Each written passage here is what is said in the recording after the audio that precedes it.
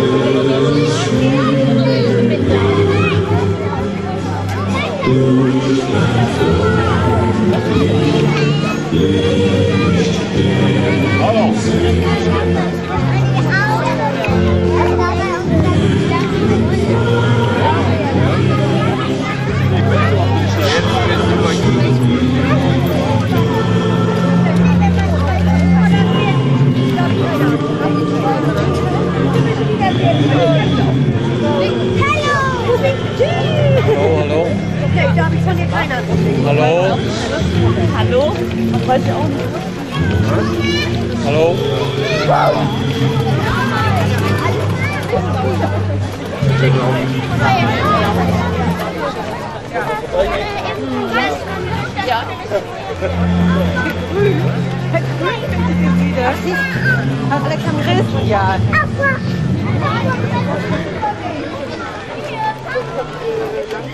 Hallo, hallo. Bitte. Hallo.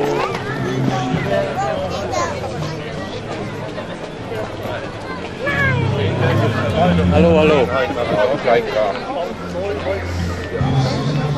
Der Kleinkram ist auch nur noch hier, weil sie neu gebaut haben. Sonst hätten sie gar nicht.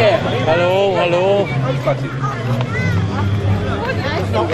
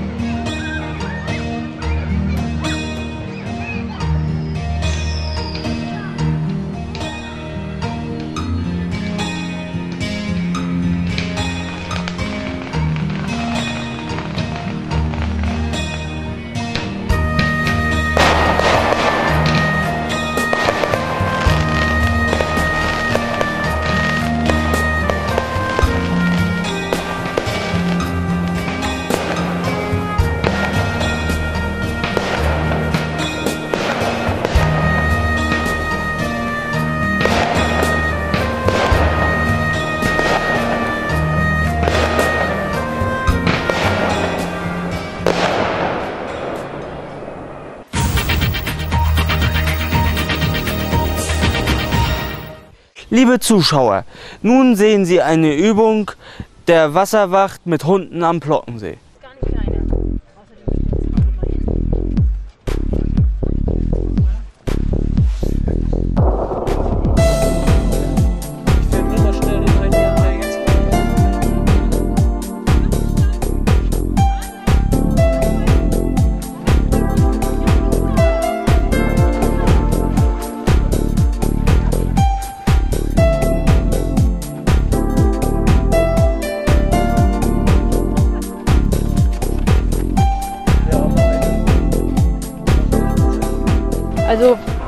Ich jetzt diesen Dummy in die Richtung des zweiten Stegs Ja. und springe dann mit dem Hund gemeinsam ab zum Dummy hin und wieder zurück bis zum Steg.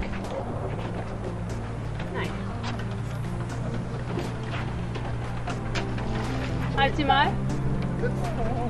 Und los!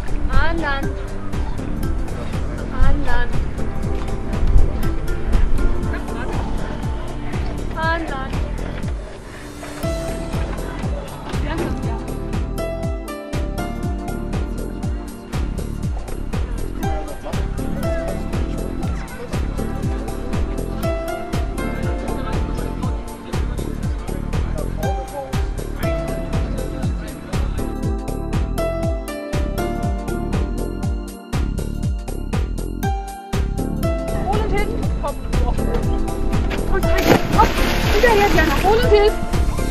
Komm her. Hol und hilf. Hol und hilf. Los. So ist fein. An Land. Äh, hol und hilf.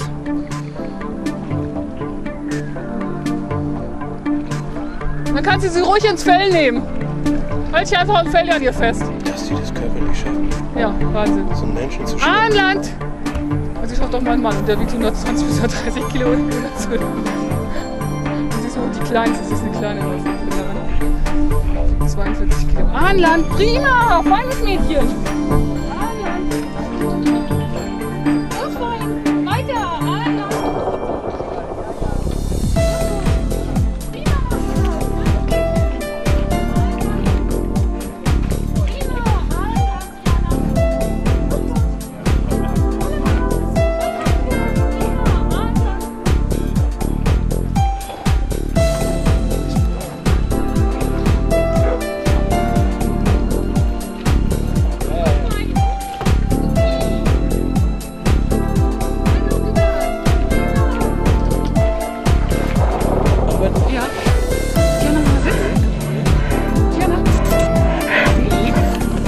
Sind die Hundebesitzerin. Ich bin die Können Sie sich Hundebesitzerin. einmal Mein vorstellen? Name ist Gelinde Rothfeld und das ist unsere Neufundländer Hündin Diana.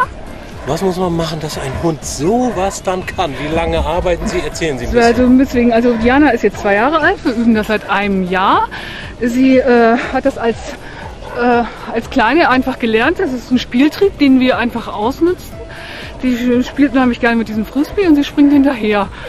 Sie hat es von den das Großen gelernt. Hinterherspringen, wenn ich mal unterbringen darf, ist noch nicht so schwierig. Aber Das dieses Abschleppen ein, ist eines Körpers, der so schwer ist. Das sind die gewöhnt, die sind einfach sehr menschenbezogen. Sie sieht gerade nur ihr Herrchen und freut sich jetzt darauf, deswegen muss ich sie gerade festhalten. Äh, deswegen, äh, deswegen sind einfach sehr menschenbezogen, sehr freundlich also, und lassen sich das einfach gefallen. Die sind von Neufundländer, Neufundland gezüchtet worden, für die äh, Fischer zu helfen, die Netze rauszuziehen.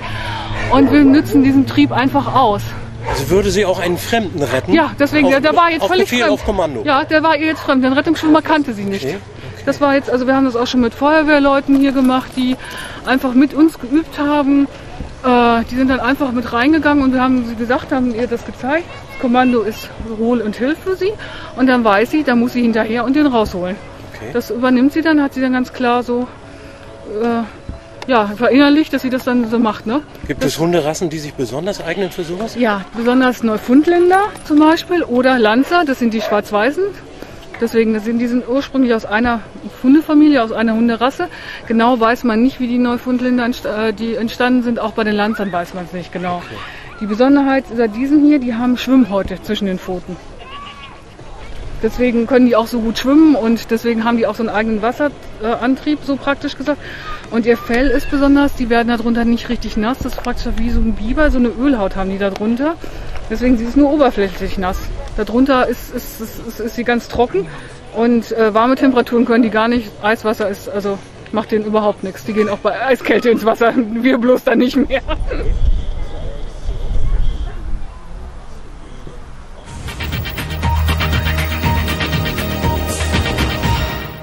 Der nächste Beitrag, liebe Zuschauer, handelt von alten Postkarten aus Gribesmühlen.